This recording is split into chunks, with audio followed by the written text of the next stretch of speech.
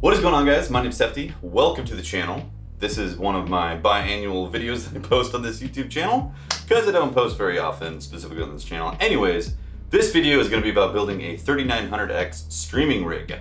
The last streaming rig I built was about three years ago during Rise of Iron for Destiny. I have a separate gaming PC. It is a i7 7700K with a 1080 Ti in there.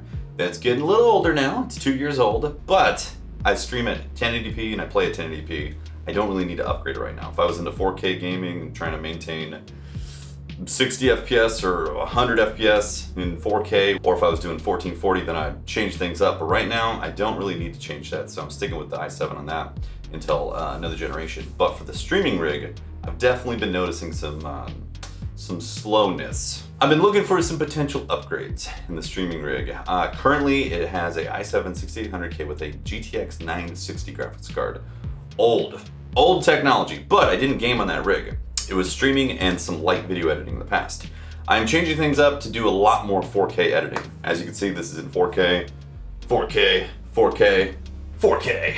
My wife and I have been doing a lot more music recently. We're releasing videos, jam videos on our Tefty and Memes channel, and it is featuring a lot more camera angles and 4K stuff and all that. And I just, I need a better rig for editing that footage. Also the export times could be significantly better, all that stuff. So this rig is going to be a significant upgrade because I'm going to be going to, like I said, a 3900X. I'm not going big on the graphics card. I'm going with a 1660 Super overclock OC overclock edition uh, from uh, Asus. They're the Asus TUF. Uh, so that's going to be going in there too. In fact, I guess now's the time to start showing the parts. So first things first, we have the AMD chip. Look at that baby. A 3900X with its PCIe 4 ready. Oh my God. So yes, this is, a, this is a really nice chip. Runs about $500 new. The motherboard that I chose is the Asus Prime X570 Pro. Uh, it has got, it's got enough features and bells and whistles, and it's missing the things that I don't care about. Uh, I'm not gonna do any extreme overclocking, because I don't need to. And I don't need Wi-Fi. I have never used Wi-Fi in any of my towers. I always plug them in via ethernet, so I don't see a reason why I would ever need Wi-Fi in this, um, this rig. And I don't need an absolute crap load of USB ports either. So this is plenty right here. This is plenty. I don't need, I don't need any more than that. So I'm looking forward to seeing how this board performs. I'm a fan of Asus. Uh, they've typically been really strong in the past. I've owned a lot of different motherboards in the past. So really it comes down to BIOS and these 570 chipsets seem to be pretty solid overall. So I'm looking forward to this one. I think this board ran me about 200, 225, somewhere around there. So RAM, I decided to go with some G.Skill Trident Z Neo. It's 32 gigs and it is uh, 3600, it's um, CL16. I believe this is the recommended type of RAM for these AMD chips. Um, if it's not, I'm gonna be disappointed, but I'm pretty sure this was all exactly what I needed for the type. Uh, I decided to go with 32 gigs. I didn't go with 64 because I don't know if I need 64. If it turns out that I am maxing out 32 gig easily for any of the 4K editing that I'm doing, then I'll just buy another set of this. This ran me, I think about 150, 170, somewhere around there. So not, mm, I mean, it's not cheap, but it's also not like crazy expensive either. So definitely doable to get another, um, another pair of 32 gigs if I need it. Next up, we've got some hard drive storage. What did I go with for storage? I went with the Rocket NVMe PCIe M.2 2280 controller SSD. What terabyte? Oh my God. now some of you might be asking, why did I go with PCIe 3 instead of 4? Uh, I did some research. It doesn't seem like any of the things that I'm gonna be doing would actually really get affected by PCIe 4. And this technology, or PCIe 4 technology for the M.2s is still pretty new. They're uh, clocking in around five gigabyte read-write speed. And the PCIe 4 spec, I think is around seven gigabytes read and write that it potentially has. So there's there's a lot of room to grow right there. So I'm I'm not investing in um, in those drives until there's actually some serious performance gains that would make sense for me. And like, it, in fact, right now, if you're copying large amounts of data always to multiple drives always, then it makes sense because you can copy that stuff back and forth all the time. The biggest stuff that I'm copying right now is some 4K footage, but it only happens like once every few days when I make a video. So it doesn't really make sense. So yeah, one one of these, that's gonna be in one of my M.2 slots. Uh, this board has two M.2 slots. I'll also be using a Samsung 960 EVO that is currently in my current streaming rig. Uh, it's one terabyte. So I'm gonna be popping that thing out and putting it in this rig as well. So that'll be both, um, both M.2 slots taken up right there.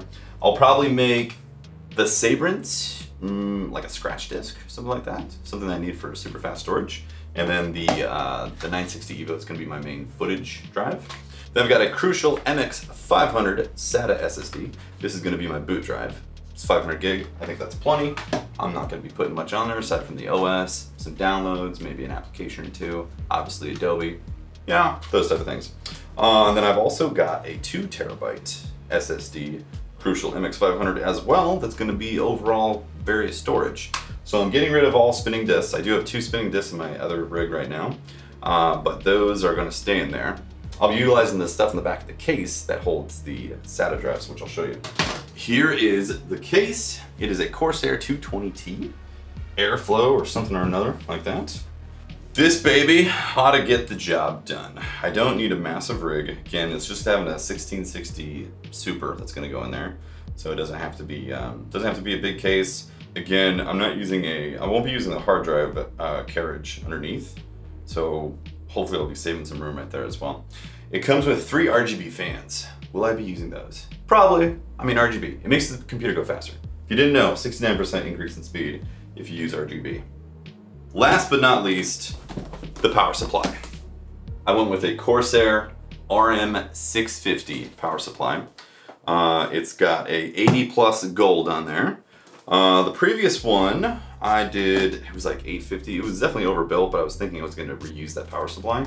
And then I kind of hemmed and hawed back and forth a bunch. I'm like, well, the computer's three years old. I've been using it pretty heavily almost daily for a lot of computing and maybe I should just get a brand new power supply. So I ended up going with something very modest. The 650, RM650. Uh, looks like it's got, it should have everything I need for this build. If it doesn't, I'm gonna be sad. Now before we get into things, let me show you guys the case right here, the insides. So as you can see, it's got a nice tempered glass type of thing right here. Um, it doesn't have a handle door type of thing. My other one has that. It's also from Corsair, but that's definitely not a big deal at all. I don't have to be popping this thing open all the time. Um, yeah, it looks like it's really nice and efficient, which is what I'm looking for in this type of rig. A nice, efficient mm, case that gets the job done. Let's pop this off. Like so. Is that the plastic on there? It is plastic on there. We'll do that later. So yeah, it looks pretty nice in here. Got some cables for some fan controller stuff. Obviously the things that connect up top. The only thing that I didn't like about this case, which I ended up being okay with ultimately, is that there's no USB-C port on the top. This would have been nice to have a USB-C on top because um, that's what I'm using for uh, transferring footage off of the SD cards from cameras. Uh, but I mean, if I have to just plug it in the back, that's not really a big deal. So that's fine.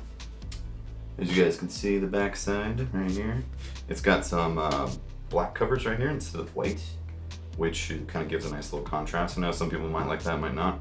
Got a dustpan on the bottom you can pull out for the, the uh, power supply. Oops.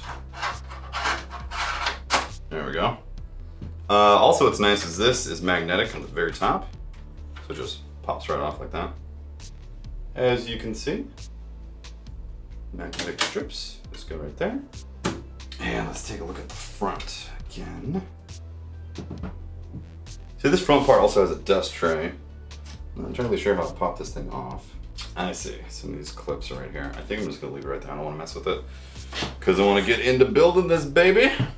I'm very excited about building it, guys. Very, very excited. Okay, what a beautiful set of components. I'm excited to build it. So what I'm gonna start out with is the power supply because I want to plug in the power supply and that way I have a direct ground that I can touch and always be grounded and disconnect any kind of static. Uh, I know some of you guys get super, super, super, super finicky about the whole static thing, whether or not using the static something or another and all that stuff. I've built a lot of PCs in the past. I've never fried any electronics. However, I am very aware over making sure I touch grounded objects to discharge any static electricity that has built up in my body. Um, that's how I've done things in the past. So I'm gonna continue to do that. Again, you just have to make sure you're touching a metal piece that is grounded. So one of the easiest ways is your power supply. Make sure you plug it in, turn it off obviously, and then you have a direct connection to the ground. Before we get started though, I wanna open up the motherboard. Have a look at this. Yeah. Look at that baby.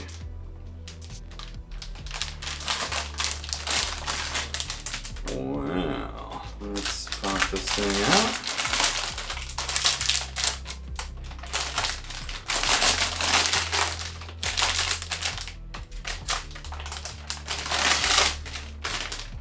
Very nice looking motherboard. Beautiful. Got a fan right there that comes with all those the 570s. Fan to, uh, to help cool the board. So it's got a M.2 cover right here, heatsink, and then this one does not have a heatsink. Very nice looking. Prime. I'm gonna set that on the desk. What else do we got here? We've got some SATA cables your uh, basic SATA cable. We got some jumper thingies. All right, what else we got? We got some extra board connecting thingamadoos as well. Great. We got a nice little Prime user guide right there. We got a CD, DVD that I could totally throw into something. So we got the user manual. Absorb thy knowledge. Absorb absorb. oh, one thing that I forgot to mention is I'm going, I'm sticking with the the stock cooler for Ryzen. Again, I'm not planning on doing any kind of crazy overclocking. So this already has an RGB cooler in it. And I thought, why not? I'll just go with that. It's is it as cool as some custom cooling solution? No, obviously. Not. But this is not a rig that's supposed to break scores or boundaries or pop holes into the fabric of time and space. It is supposed to be a bread and butter streaming slash 4K editing rig that is solid. That's what I'm going for. So I decided to stick with the basic cooler that comes with uh, the Ryzen chip. If I end up having problems with it, then yeah, I'll end up swapping it out. Uh, I don't think I'll have problems though. That would be really weird if I did. That was an exciting unboxing. Oh my god, my heart's pounding. Okay, next up, I want to make sure I unbox the, uh, the power supply so I can plug it in and have a direct ground no matter what. All right, Corsair power supply. Wow, look at that. Let's get this box out first. We've got a nice bundle of cables right here. Sick bundle. Sick bundle, yes. Oh yeah, all the cables right there. It's modular PSU, so I'll be able to um, use what I need and not use whatever I don't need. Look at these, some cable management ties, guys. Will I use these? We'll find out. Important information. Okay. PSU. Warning, this bag should stay away from anything that can die. Got it. Mm -hmm. Silent operation mode to low to moderate loads, and this fan will the fan will not spin in silent operation mode. Uh, well, that's always nice, especially with it being a, an efficient 80 plus power, uh, 80 plus gold power supply. There it is, guys. Okay. Okay, so I plugged it in so I can actually touch this to discharge any static electricity. Electricity if I needed. Uh, but we need the case now. We are going to pop off the back here. Actually, how does the back come off? Comes off like this.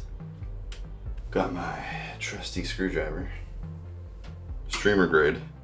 Comes built in with streamer perks. Let's open this up. Yeah, we didn't look at this yet actually. This is the back of the case. So here is where the two SATA drives are gonna sit. SATA drive one, SATA drive two. It's a nice, convenient spot to keep things out of the out of the way. Uh, here's the hard drive storage bay, which I am going to remove out of there because I don't need it. Uh, here's some extra screws.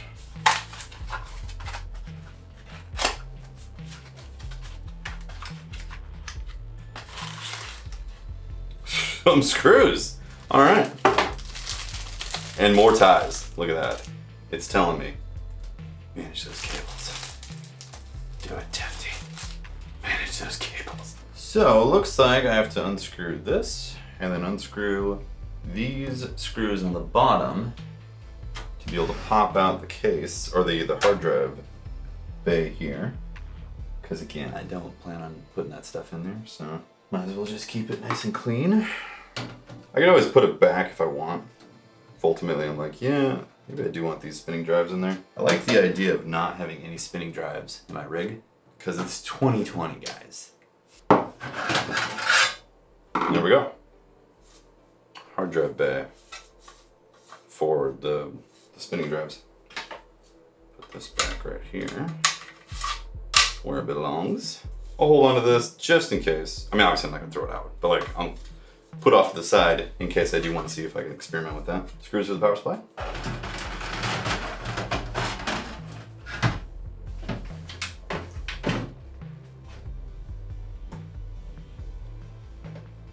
All right, it seems to be installed. So technically with this plugged in, it should be grounded, being that it's connected to actual power. Now would be the time to start putting the board. Got some peeling to do.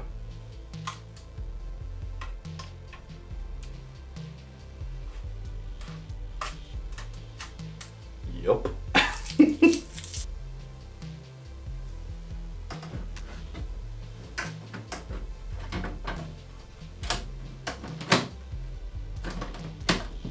Okay, that was a really nice snug fit, which is great.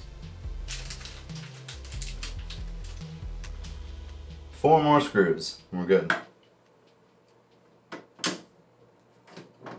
I believe the motherboard is fastened securely to the case. All right, I'm gonna get a game plan how I wanna route some of this power.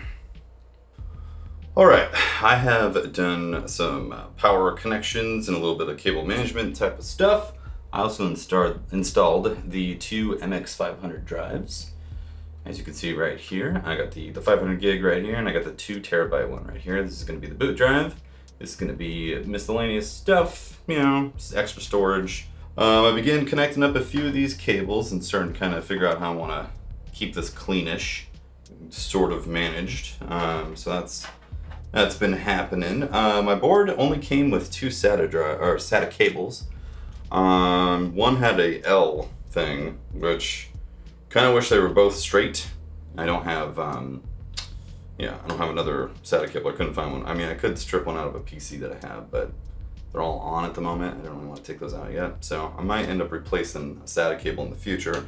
But for now, it's fine. It's working, or it's connected at least. Uh, we need to install the CPU. In fact, in the manual, it says I should install the CPU first, then put the board in the case. Whatever, you know, I think it's fine. so let's spin this around and start opening up the, uh, the CPU. Here's what it's looking like so far. Got the Ryzen box. Let's open this baby. Well, well, well. The Ryzen chip. The third gen Ryzen 3900X. Looking very swanky. Cool.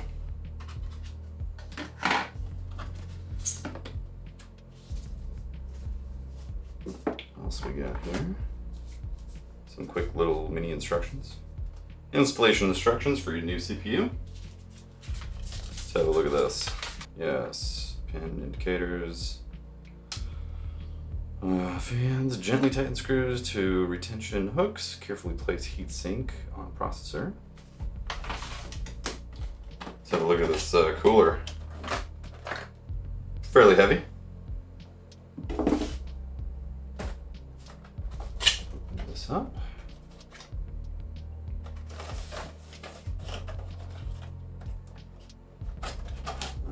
Uh-huh. There it is. Yep, and there's thermal paste already applied to it. Okay, cool. I was curious about that. Close, close inspection there. Thermal paste. Yeah, cool. A couple cables as well that come with the cooler. I need to do some reading to make sure I do this correctly. So you have to make sure that these pins line up perfectly. If you don't, you will bend them, and that is awful. So you can see there's a little triangle right there. And also you can tell that the, the way that the pins are spaced on each corner is an indicator of how this is supposed to go in. So you can see there's a notch on this one. Not only is there a triangle, but there's also a notch, a square notch out of the pins. If you look at the pins right here, you probably can't see it because the camera's like the way it is, but the notch is right here. So you have to line the notch up with this. And it should be good. You just sink right in. No problem at all. There we go. Our CPU is installed on the board. Praise our in Jesus. The instructions are not entirely clear on this. I could watch a YouTube video, but I'm pretty sure what happens is these little things, these side deals, clip onto these in the board. And then you pull this and it brings it taut.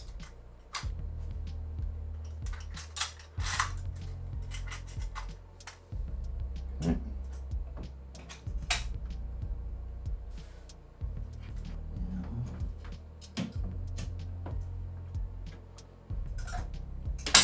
There we go. Thing was kind of stubborn. It is officially secured to the chip.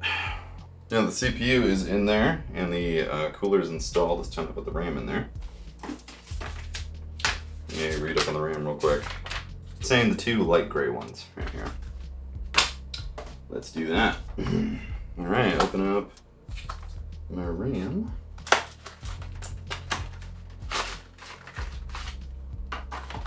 Trident Z Nero. Let's get it.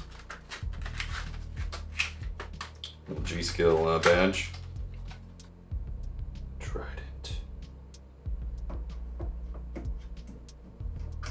Next stick. RAM's installed. Fast forward just a little bit. I have uh, officially put the M.2 drives in. I said I wasn't going to do that initially, and I was like, you know what? we might as well start putting them in. I also wired up a bunch of cables, uh, kind of managed a little bit of stuff, and I also turned off my other PC so I can pull out the graphics card. And it is this guy. This is the 1660 Super Overclock Asus TUF. That's what it looks like, yep. There's the connections in the back. This is going to be my bread and butter 4K editing card. It's gonna get the job done. So yeah, just a quick note. Again, I said uh, I was taking the 960 EVO, the Samsung 960 EVO M.2 from my other computer. So that, I just pulled that drive out and I installed the Sabrent, Subrent, whatever it is, one terabyte uh, into the board. So looking good right there. Okay. Let's pop this baby in.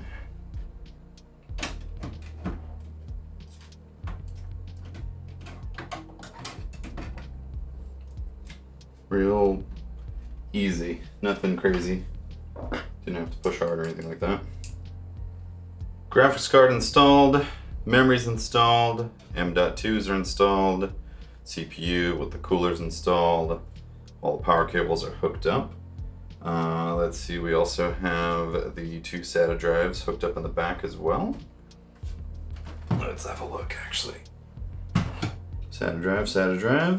Hooked up the power for this stuff as well. Uh, I need to tie these cables, but we gotta make sure everything's working first before we do anything like that. Also, one thing, I did not install the uh, one of the M.2 heat sinks because I want to make sure it's working and not have any issues because this is like an adhesive type of thing or it's sticky.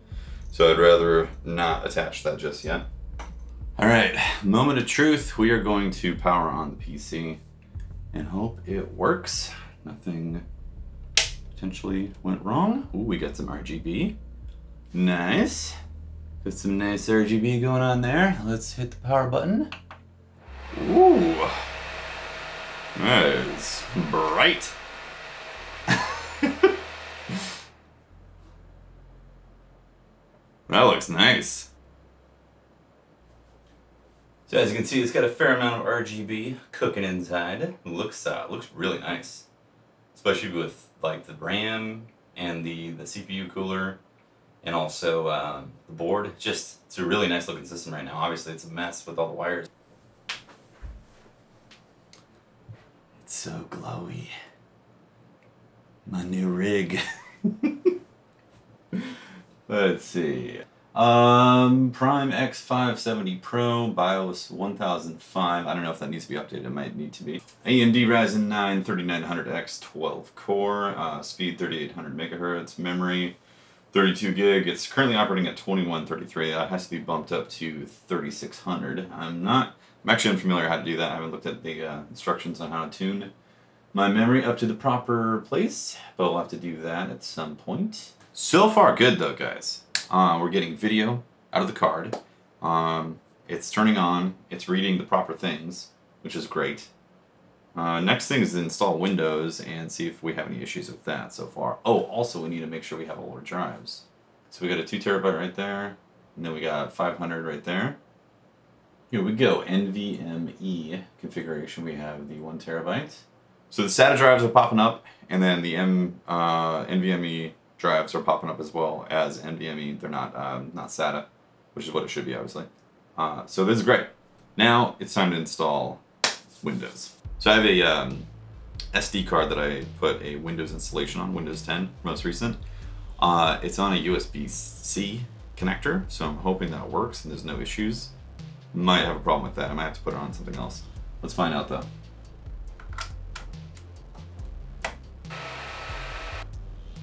Asus in search of incredible. It looks like it's working. So USB-C had no problem. Boom. Let's install Windows. Yes, install now. Setup is starting. Wonder how fast USB-C would be off that. Okay, drive zero primary. I'm gonna go with that. Next, copying. Easy peasy, guys. Easy peasy. Finished installing, it's restarting. Took about four minutes, maybe. it's pretty quick. Just a moment. Your PC's being set up. Let's start with the region. United States. Let's connect to a network. I have to plug in my ethernet cable. We have officially connected to the internet. That's good. This AMD cooler looks really nice. I'm impressed. Hi, I'm a Windows computer. We're getting things ready for you. Congrats on your new 3900X AMD rig. Ha! Welcome to Winders. Looks like it works. Let's have a look at these cores. Task Manager. This is great. Very happy. 32 gigs of RAM. Oh boy. yes. I'm very happy. Alright, I still got a lot of work to do. I have to cable manage, get all this stuff um, cleaned up. So I better get to that. Okay, day two. Very happy with the system so far. There's something that I promised you guys that I would do. Uh, and I didn't do it yesterday. So I'm making sure I get that, and then we're gonna show off a little more of the RGB stuff. I'll do some cable management as well. So it's looking nice in there. So let's do this. Let's see, I maybe start over here with the peel. Oh, yep, yep, yep. I think I should take these off. Let me do that first. Maybe I should turn the system on so the lights are on while I peel. Yeah, I'm gonna do that. Here we go. So that's the essentially off state colors that are coming through. LED over here, LED over here. It's nice, it's tasteful, it's not overbearing or anything like that. When all lights are on, it could be on the not so tasteful side, but I actually really like it. okay, so peeling.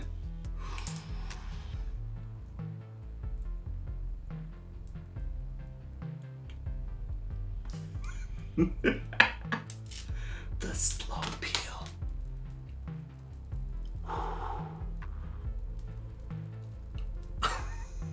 oh crap. Forgot about the tension that would happen from peeling this uh, wrapper. Okay, there we go. Almost broke my glass, man. This is tempered glass, by the way, for anybody who doesn't know. Oh, oh, oh. Almost broke it again. I scratched my table too. How about that? Battle marks. We're gonna go like this to finish this out. So I don't break anything. okay. So as you can see, looking nice. I'm very pleased with it so far. All right, let's put this back on. Uh, also, the glass is it looks really clear. It's supposed supposedly like got some tinting to it. I think the literature said something about some tinting. It does not look tinted at all to me. Which I don't really mind because it looks really nice the way it is. Oh, one thing I forgot. I have to put my capture card in here. I use a Magewell internal capture card. So I forgot to do that, but that's okay. Uh, that'll be another time. Here we go. Lights. Ooh, there we go. Beautiful.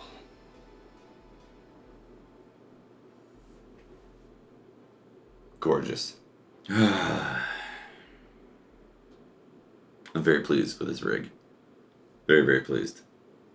Looks nice. It runs phenomenally. Very, very happy. Another thing too is I updated to the latest BIOS as well. It was 1405 or something like that. It came with BIOS 1005, which was back in August of 2019. This BIOS is, I believe, December of 2019. Um, so yeah, I got latest BIOS on that stuff. It did help resolve a few device manager question marks that were in there. And then I installed the drivers as well for the board. Um, yeah, so far really, really smooth, really solid. Um, everything's working so far, which is great. Obviously, you know, you spend money on a new computer, you want everything to be working correctly. Um, but no incompatibilities or anything like that. Oh, also, I did do the um, the correct profile for the memory.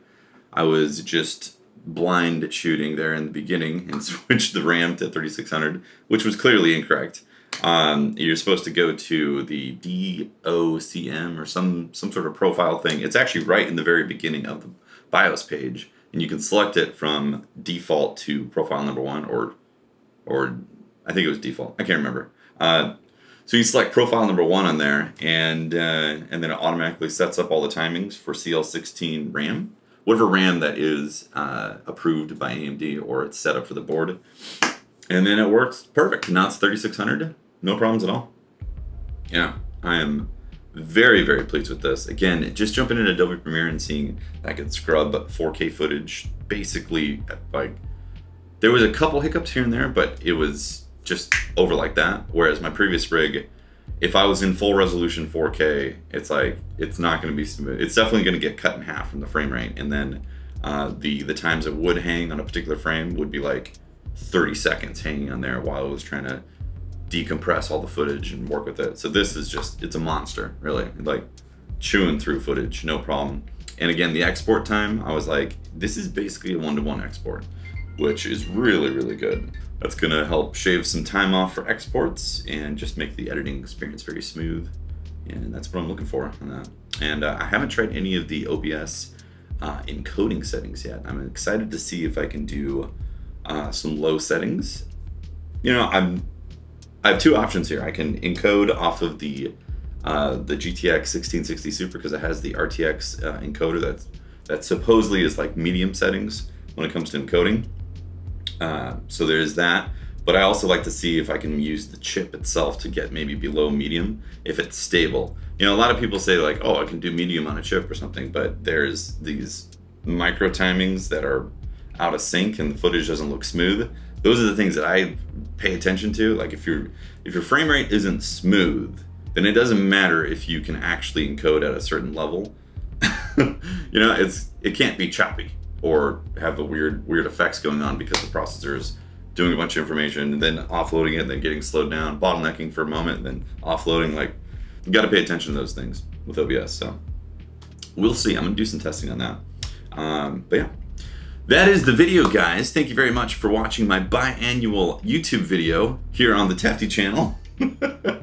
uh, most of my YouTube content nowadays is going on the Tefty and Memes music channel. If you would like to support the channel, you can actually go over to my Twitch page and follow me on there and check out my streams. Just stopping in, saying hey is always nice. Uh, that is twitch.tv forward slash Tefty Teft. Twitch.tv forward slash Tefty Teft. Um, you can also follow me on Twitter, twitter.com forward slash Teft or at Teft, T E F T. Uh, also my Instagram, Tefty Teft. And most of my YouTube content nowadays is actually music related content. So if you want to follow me over on the Tefty and Memes channel, I'll put a link here in the video so you can check that out.